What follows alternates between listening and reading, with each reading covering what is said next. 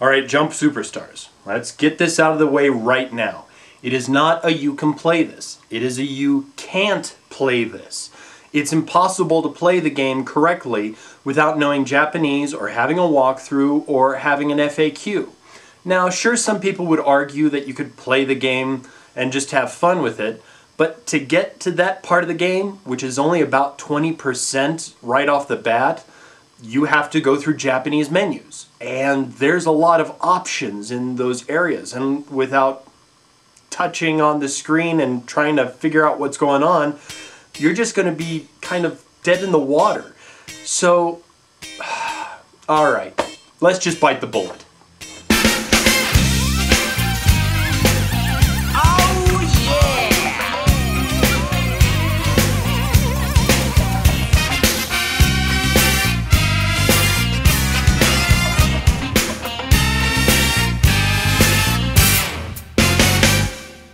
So why am I reviewing this game? Well, for two reasons. The first one, you guys just won't leave me alone about it. And number two, I remember that it was sold several years back in some Best Buys, along with a Naruto import game, to get people interested in Japanese games. But it didn't come with a how-to booklet, and so there are still people who are probably interested in how to play it. But this wasn't the first time that Shonen Jump put all its characters into one game.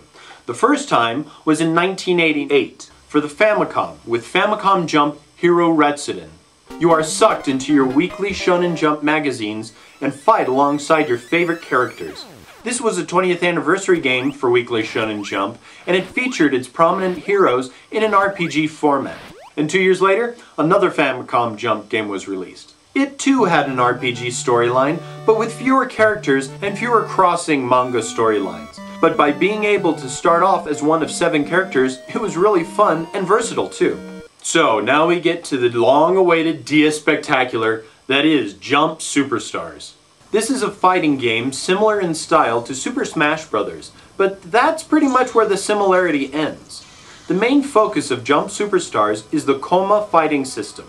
In the touchscreen part of the game, you have a 4x5 grid. This is where you make your team. By choosing different characters from your collection, you can add them to this grid and then battle with them.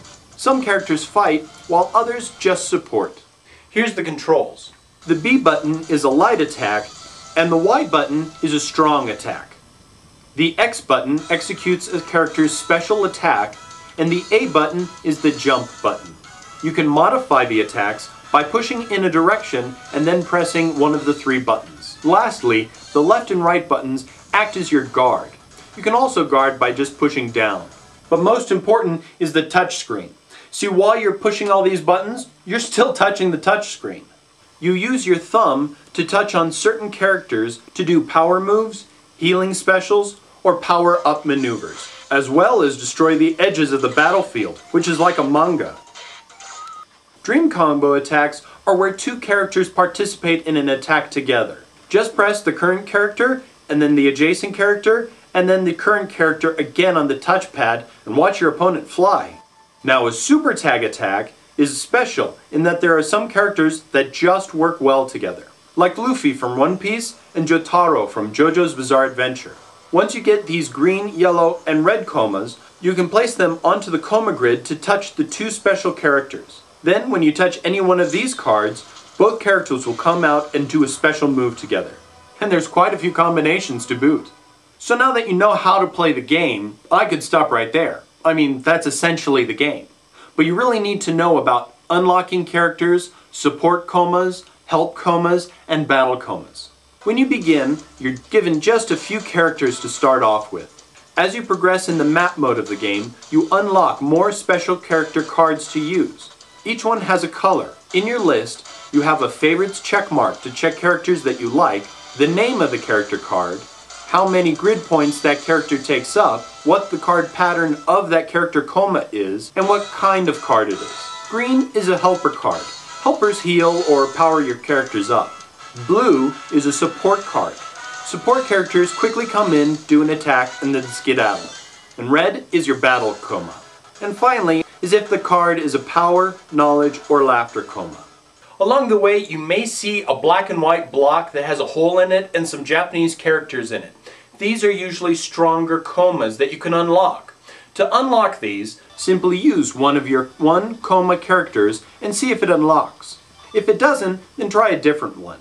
Okay, now let's tackle the menus. These are essential if you're going to get anywhere in the game. Jump Adventure is the storyline part of the game. To play it, you need to complete different tasks. Now these are in Japanese, so this is where you need the walkthrough. There's play for multiple cards, or if your friends don't have the game, you can use the download option. And you can trade decks your friends have made on their games. Deck Maker is where you make custom decks to play in any of the various modes. You can edit your decks, rename them, copy them, switch them around, or even delete them. Then, when you're done, you can quit and save, or quit without saving. Man, that was a lot to process, but trust me, it's really worth it. Now, two years later, there was a sequel made called Jump Ultimate Stars, but that's really another game for another on, You said you were going to. All I mean, right, you should will do you all get of off them. my back already? Gameplay is essentially the same. Some of the character cards have different sprites, depending on which version you use. There's also a guard break that swaps out your opponent's character by pressing down plus B. A sorely needed essential, however, was the dash. Also, you can spend gems earned in battles to upgrade characters and get higher koma cards for them. And this is how you get more koma in this version. The menu is similar to Jump Superstars, but is in a different pattern. The addition of online play really adds a lot to this version. And I also think that it's a cleaner and more refined version of the two. And something I really like about Jump Ultimate Stars is that they brought back almost every single playable character from Famicom Jump 2. Momotaro, Ryosan, Jotaro, Tachan, Tyson, and Goku. Unfortunately, Taruruto didn't make it back, but one can always hope that they do a third game. So, to wrap things up, Fighting gamers will get a lot out of this title, as will the casual gamer who likes Super Smash Bros. Melee. And even if you're not a big fan of fighters, playing a game with your favorite characters from Viz Comics is always a bonus. Now, the story mode is difficult, no joke, especially if you don't read Japanese. The graphics are astounding. Each character has their own sprites, and each sprite is completely well done. Not only do they look like the characters, but they have personality too. This game is the only 5 out of 5 for language difficulty that I will probably ever review. You just cannot proceed without an FAQ about what criteria to meet to unlock more characters. And FAQs and walkthroughs are against everything that you can play this is. Complex fighting controls will naturally come to fighting game fans. Others will find it easy to pick up and learn through story mode as it teaches you how to do moves as you go along. It's a fighting game, of course it's replayable, and you will definitely want to make new decks with your favorite characters from Shonen Jump. Jump Superstars can be found for about 15 to $40 online, but nowadays I wouldn't pay more than $25 plus shipping. Jump Ultimate Stars, however, is a bit newer, and so use your discretion about how much you want to pay. Now there are many more tricks to this game, like how to make a deck correctly or which characters work well for each other. But this review is just so that you can get started playing on it. You know, I am kind of glad that I did a review of this game. Well balanced and creative, I really don't think that there's another fighting game like it anywhere out there. So while these games really aren't a you can play this, I gotta tell you, these really are definitely a you must play this. So thanks for watching. And be sure to leave written or video comments about what you thought of this episode, or about other games you might like to see me play in the future baby, but this time around.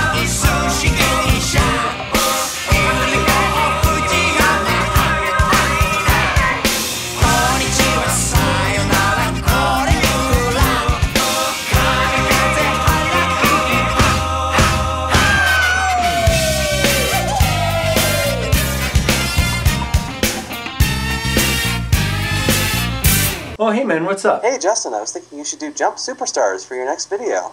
Ah!